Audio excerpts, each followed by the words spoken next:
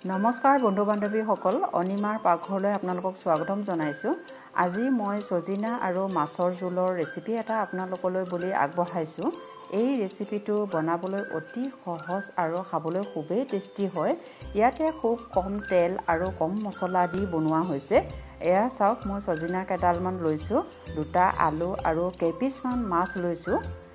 চজিনা কেইডাল মই চুটি চুটিকৈ কাটি লৈছোঁ এনেকৈ।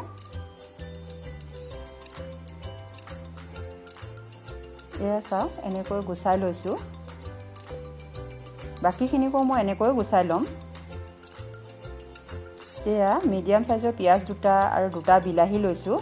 সৰু সৰু জলকীয়া তিনিটা কাটি লৈছোঁ মই সৰু সৰুকৈ। আৰু পিঁয়াজ আৰু বিলাহীখিনিকো কাটি লৈছোঁ। এয়া আদা নহৰু পেষ্ট এচামুচ। আৰু চজিনাখিনি আমাৰ গোটেইখিনি ধুই কৰি ল'লোঁ। আলুখিনি মই অলপ দীঘল দীঘলকৈ কাটি দিছোঁ। বগা সৰিয়হ ইয়াতে দুচামুচ দিছোঁ ৰঙা সৰিয়হ এচামুচ। খুন্দনাতে এনেকৈ ঘূৰাই পেলাই মই গুড়ি কৰি ল'ম আৰু পানী অলপ দি মই পেষ্ট বনাই ল'ম এইখিনি। এয়া হৈছে। বেছি মিহি হোৱা নাই যদিও ধুনীয়া হৈছে। এয়া ঘৰতে খুন্দি লোৱা মোৰ জিৰা ধনিয়া পাউডাৰ এচামুচ আৰু গৰম মছলা আধা চামুচ হালধি এচামুচ ৰঙা জলকীয়া আধা চামুচ। এয়া মই কেৰাহীতে মিঠাতেল দিছোঁ। তেলখিনি আমাৰ গৰম হৈছে মই মাছখিনি ইয়াতে ফ্ৰাই কৰি ল'ম। এয়া মই চাৰি পিচে মাছ মই আগতীয়াকৈ ফ্ৰাই কৰি লৈছোঁ বাকীখিনি পিছত ভাজিম।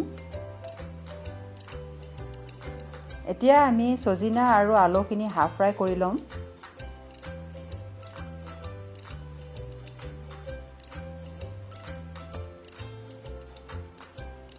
এতিয়া মই ইয়াতে নিমখ এচামুচ দি দিছোঁ। নিমখ দিলে চজিনাৰ পৰা পানী ওলাব আৰু অলপ সময় ঢাকি পেলাই ভাজিলে ধুনীয়াকৈ আধা সিজা হৈ যাবগৈ। এতিয়া মই ইয়াতে ঢাকি দিছোঁ। এয়া অলপ সময় ভজাৰ পিছতে আমাৰ আলু আৰু চজিনাখিনি আধা সিজা হৈছে।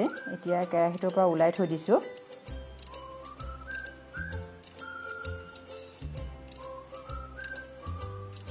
ইয়াতে আৰু অলপ তেল দি মই গোটা ইলাচি দুটা আৰু দালচেনি এটুকুৰা দিছোঁ।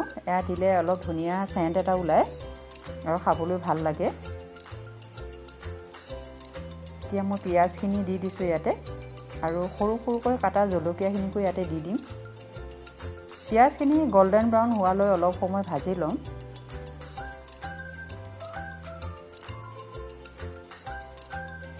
এয়া আমাৰ পিঁয়াজখিনি ভাজি হৈছে আদা নহৰু পেষ্টখিনি আমি ইয়াতে দি দিছোঁ। বেছি সময় ভাজিব নালাগে আদা নহৰু কেঁচা গোন্ধটো নাইকিয়া হ'লেই হ'ল। ইয়াতে আমি এতিয়া বিলাহীখিনি দি দিছোঁ।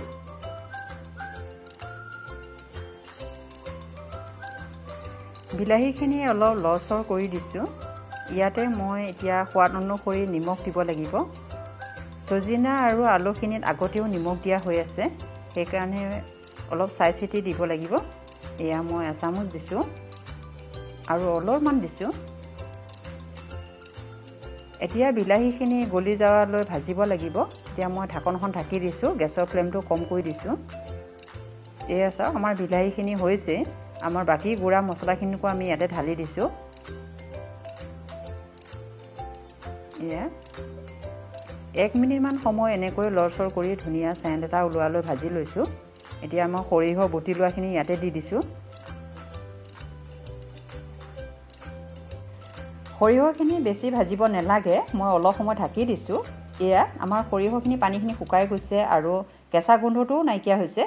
এতিয়া মই চজিনা আৰু আলুখিনি ইয়াতে ঢালি দিছোঁ। হাতাখনে এবাৰ ভালকৈ ওলট পালট কৰি দিছোঁ। এতিয়া গেছৰ ফ্লেমটো কম কৰি ঢাকনখন ঢাকি দিছোঁ। এক দুই মিনিটমান সিজোৱাৰ পিছত এয়া মই পানী ঢালি দিছোঁ। আপোনালোকে প্ৰয়োজন অনুসৰি পানী দিব মই অলপ বেছিকৈয়ে দিছোঁ। এতিয়া ঢাকনখন ঢাকি পাঁচ মিনিটমান সিজালেই হ'ব।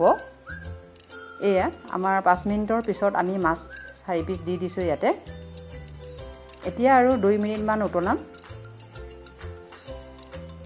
এয়া চাওক আমাৰ দুই মিনিটৰ পিছত আমাৰ চজিনা আৰু মাছৰ জোলকণ আমাৰ ৰেডি হৈ গৈছে।